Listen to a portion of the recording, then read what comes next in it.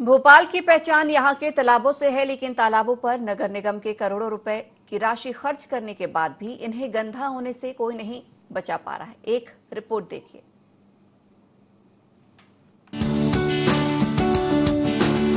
भोपाल को ताल तलैयों का शहर कहा जाता है, लेकिन यहाँ के ऐतिहासिक तालाब अब सीवेज के कारण गंदे हो रहे हैं। भोपाल के मोतिया तालाब की बात की जाए तो इसके आसपास बने मकान की गंदगी इन दिनों तालाब में मिल रही है। जिससे तालाब प्रदूषित हो रहा है। पिछले तीन सालों में नगर निगम ने सीवेज नेटवर्क पर दो करोड़ रुपए की राशि खर्च भी की, जिसका भुगतान भी हो गया। लेकिन जमीनी स्तर पर कोई काम नज़र नहीं आ रहा है। भोपाल की लाइफ लाइन कहा जाने वाला बड़ा तालाब, फ़िलहाल आप देख सकते हैं कि सीवेज के कारण गंदा होता हुआ नज़र आ रहा है और ये सीवेज का चेम्बर है, जो आप देख सकते हैं जिसका गंदा पानी भोपाल के बड़े तालाब में सीधे तौर पर मिलता हुआ नज़र आ रहा है। ये तस्वीर आपको बयान करती है कि किस तरह से करोड़ों रुपए की जो राशि है वो सीवेज नेटवर्क पर खर्च की जाती है, लेकिन ज़मीनी स्तर पर देखा जाए तो जो सफ़ा, साफ़ सफ़ाई है, वो भी चेम्बरों की नहीं की जाती और जिस तरह से ये पीने का जो पानी है, बड़े तालाब की अगर बात किया तो भोपाल की आधी आबादी को पहुँचाया जाता है, लेकिन जिस तरह से जो सीवेज का गंदा पानी है वो बड़े तालाब में मिलता हुआ नज़र आ रहा है।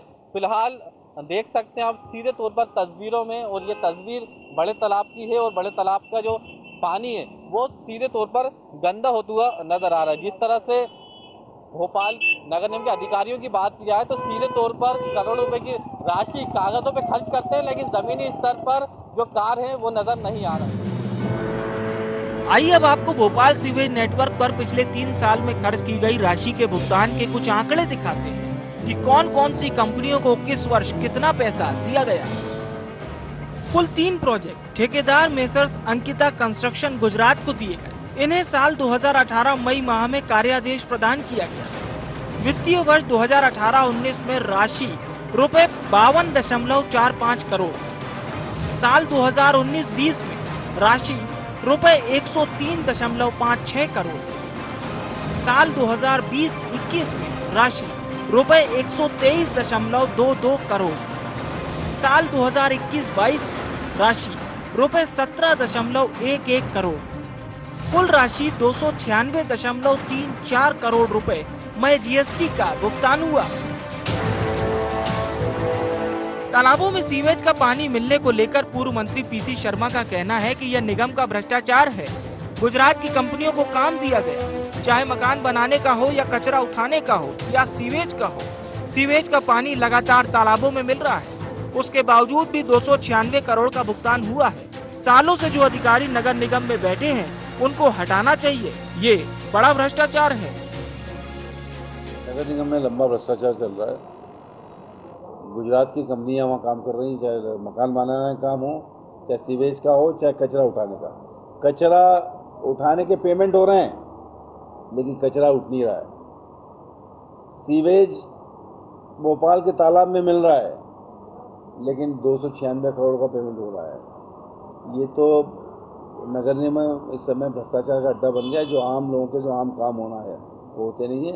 इकतीस तारीख तक पैसा इकट्ठा कर रही है, ठेकेदारों को पेमेंट हो नहीं रहा है। कहीं ना कहीं पूरा नगर निगम का सिस्टम फेल है। ये अधिकारी जो सालों से बैठे हुए हैं, इनको हटाया जाना चाहिए। ये नगर निगम में एक ही काम होता है। सीएम हेल्पलाइन से किसी की कंप्लेंट आई और गरीब ठेले वाले को या घुमटी वाले को हटा के उसको बेरोजगार कर दिया।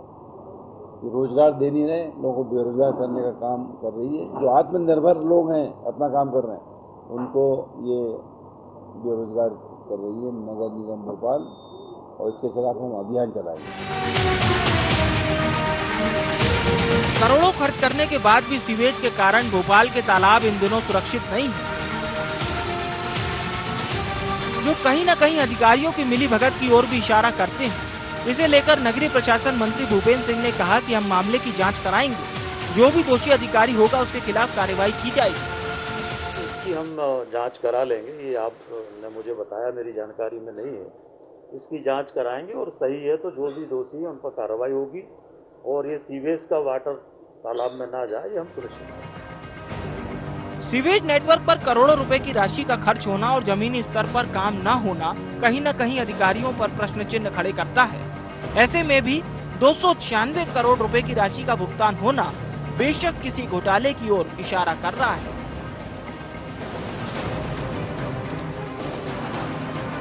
भोपाल नगर निगम सीवेज नेटवर्क और तालाबों के संरक्षण पर करोड़ों रुपए की राशि खर्च करती है, लेकिन फ़िलहाल आप देख सकते हैं भोपाल के मोतिया तालाब की स्थिति जो आसपास घर बने हुए हैं, शौचालय बने हुए हैं, उनका सीधे तौर पर जो मलमूत है, वो मोतिया तालाब में मिलता हुआ दिखाई दे रहा है। जिस तरह से पूरे शहर भर के सीवेज नेटवर्क पर पिछले तीन साल में दो सौ छियानवे करोड़ रुपए की राशि का भुगतान किया गया है। लेकिन आप देख सकते हैं कि तालाबों की स्थिति पहले जैसी है, किसी तरह का सुधार देखने को नहीं मिलता और तालाब अभी भी जो है सीवेज के नाम पर गंदे नज़र आते हैं। फ़िलहाल अधिकारियों की बात की जाए तो जो कार्य योजना है वो अपने कार्यालयों में बनाई जाती है, लेकिन जमीनी स्तर पर अगर उतरकर देखा जाए तो किसी तरह के भी कार्य नज़र नहीं आते हैं। और जीता जाता ये उदाहरण आप देख सकते हैं कि तालाब के पास ही जो शौचालय बने हुए हैं और इनका सीधे तौर पर जो सीवेज का मलमूत्र है वो तालाबों में मिल रहा है। कैमरा पर्सन फिरोज के साथ शुएब खान आई एन भोपाल।